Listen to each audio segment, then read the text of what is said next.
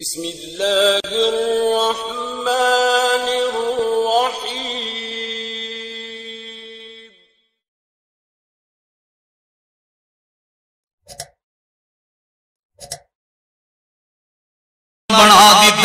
ترمدی شریف دی روایت ہے مسلمان بندے نو ہس کے ملیا کر، اللہ تینو صدقے دا ثواب عطا فرما دین گے۔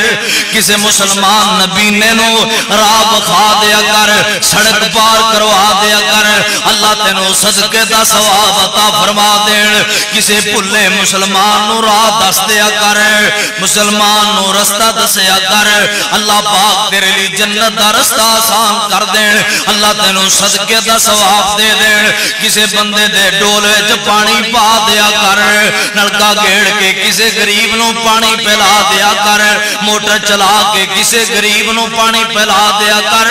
اللہ جل جلال تینو صدقے دا ثواب عطا فرما دین گے پیار کریا کر انہاں مسکین بندیاں نال غریباں بندیاں نال، تیرے بوئے تے غریب آ جائے، نک نہ بٹیا کر، منہ نہ بٹیا کر۔ حضرت ابو ذر فرماندے نے اللہ دے پاک پیغمبر نے میں نے سات چیزاں دا حکم دیتا ہے۔ پہلی چیز آپ نے فرمایا مارا لی پہ حب المساکین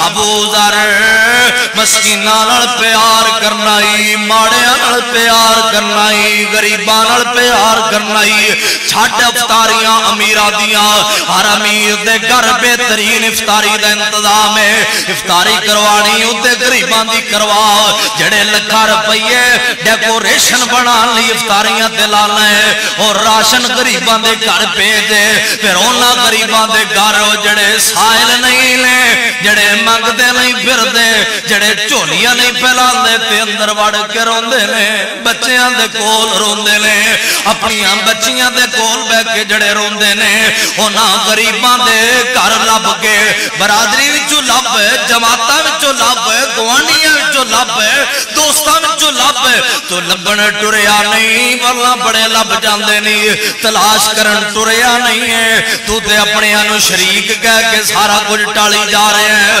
سونے آن غریباں دا خیر خواہ بن ماڑے دا خیر خواہ بن۔ سن لو جڑے غریباں دے خیر خواہ بن جان۔